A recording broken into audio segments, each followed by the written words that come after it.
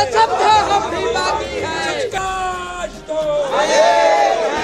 आज तो आवाज़ तो जस्टिस भैया मुर्दाबाद जस्टिस सूर्यकांत मुर्दाबाद आवाज़ दो अधिवक्ता एकता जिंदाबाद। मन में तेरे दम है कितना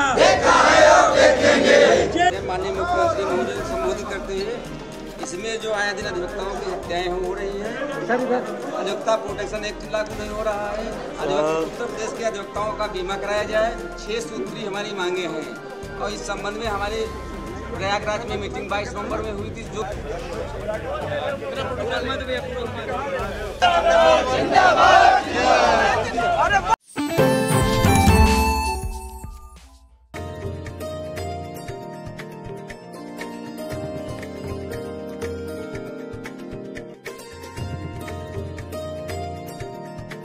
हाईकोर्ट द्वारा अधिवक्ताओं पर हड़ताल की लगाई गई पाबंदी का विरोध बुधवार को दिखा। हड़ताल शोक सभा आदि पर लगाई गई रोक से अधिवक्ताओं में गहरा आक्रोश है। अधिकारों का हनन होने से आक्रोशित अधिवक्ताओं ने बुधवार को न्यायिक कार्य से विरत रहकर अपने अधिकारों के लिए आवाज़ उठाई। वकीलों ने एक स्वर से कहा कि उच्च न्यायालय इलाहाबाद द्वारा प्रदेश के सभी बार हड़ताल एवं शोक सभा पर रोक लगा दी गई है, जो की सही नहीं है। अधिवक्ताओं की तरफ़ से ऐसी ही अन्य आठ सूत्री मांगों से संदर्भित मुख्यमंत्री को संबोधित मांग पत्र एसडीएम सदर अभिनव यादव को सौंपा गया। आइए पहले सुन लेते हैं सीतापुर बार एसोसिएशन के अध्यक्ष विजय कुमार अवस्थी का क्या कुछ कहना है? इधर, दो वर्षों से करीब न्यायिक व्यवस्था में तेज़ी लाने के लिए माननीय सर्वोच्च न्यायालय और उच्च न्यायालय द्वारा अधिवक्ताओं के विरुद्ध आए दिन नए प्रतिबंध लगाए जा रहे हैं, जबकि हमारे अधिवक्ता समाज को कचहरी परिसर में बैठने की सुविधा नहीं बरसात में जाड़े में कोहरे में बैठकर काम करना होता है। वहीं न्यायपालिका के अधिकारियों के साथ एसी चैम्बर और उनके लिए तमाम सुविधाएँ दी जा रही हैं। ऐसे हालात में अधिकतर समाज ने महसूस किया है कि हमें बदवा मजदूरों जैसी स्थिति न्यायपालिका द्वारा उत्पन्न की जा रही जो कि, किसी भी दशा में हमारे अधिकारों का हनन है। जिसे लेकर हम सबने अभी पूरे उत्तर प्रदेश के अध्यक्षताओं ने बाईस सितंबर को प्रयागराज में एक सम्मेलन किया, जिसमें पूरे उत्तर प्रदेश के वकीलों ने भाग लिया था। उसमें तय किया था कि अब हम लोग जब तक हमारी सुविधाओं में सरकार बढ़ोतरी नहीं करेगी और न्यायपालिका जब तक इस बात को महसूस नहीं करेगी, तब तक हम लोग विरोध करेंगे, सड़कों पर उतर करेंगे, न्यायिक माध्यम से करेंगे और जो भी हमारा विरोध के तरीके हो सके वो करेंगे, क्योंकि ये दोहरी नीति, ये दोहरा चरित्र आचरण बिल्कुल अधिवक्ता समाज के लिए गलत है, जो कि न्याय के स्तंभ है। न्याय व्यवस्था के लिए महत्वपूर्ण भूमिका रखने वाला हमारा समाज आज उपेक्षा का शिकार हो रहा है।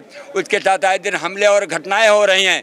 सरकार अधिवक्ता सुरक्षा कानून, जो उसके उत्तर प्रदेश सरकार के पास विचाराधीन है, वो लागू नहीं कर रहा है। इसलिए सीतापुर के बार एसोसिएशन के अधिवक्ताओं ने आज संपूर्ण रूप से न्यायिक कार्य से विरत रहकर आज विरोध प्रकट किया है। शासन प्रशासन के समक्ष कि वह इन सब बातों को समझे, तभी हमसे कार्य करने की अपेक्षा करें। और मुद्दे हमारे स्थानीय थे तो हम जनपद न्यायाधीश महोदय से वार्ता करेंगे। और इस विषय को लेकर माननीय सर्वोच्च न्यायालय और उच्च न्यायालय जो आए दिन प्रतिबंध लगाती जा रही है, उनको भी अवगत कराएँगे कि वो समझे और यहाँ धरातल की स्थितियाँ क्या, उनको वो जानें।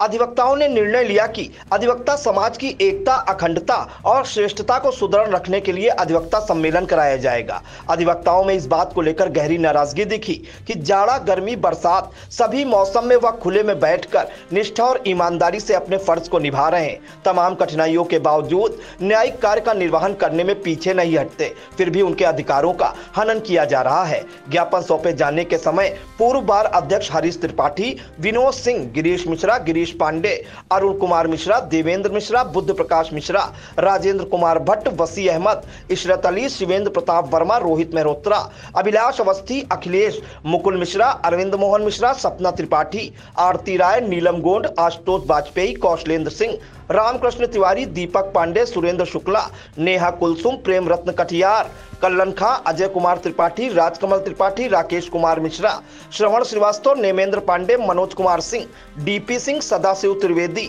अमरीश शुक्ला, पंकज श्रीवास्तव, संदीप पांडे, सोनेलाल शुक्ला सहित तमाम अधिवक्तागण मौजूद रहे। बता दें कि अधिवक्ता समाज के नए प्रतिबंधात्मक आदेश पारित किए जाने को लेकर अधिवक्ताओं का सम्मेलन 22 सितंबर को प्रयागराज में हुआ था। सीतापुर बार एसोसिएशन के महासचिव दिनेश कुमार त्रिपाठी का क्या कुछ कहना है, उसे भी सुनिए।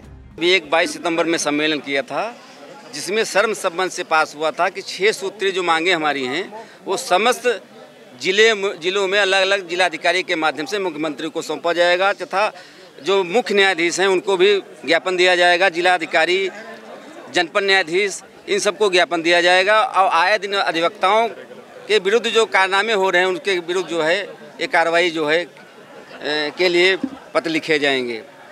अधिवक्ताओं को समुचित बीमा वगैरह सरकार कराए और समय समय पर जो उनकी समस्याएँ हैं, उनको दृष्टिगत रखते हुए वो हल कराएँ।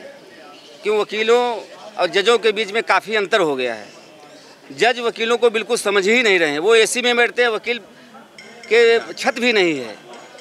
हमारे सिविल कोर्ट में कोई चैम्बर तक नहीं बना हुआ है। कोई सुनने वाला नहीं है, इसलिए हमें ये मांग पत्र आज हमने जिलाधिकारी जिलाधिकारी के माध्यम से मुख्यमंत्री को प्रेषित किया।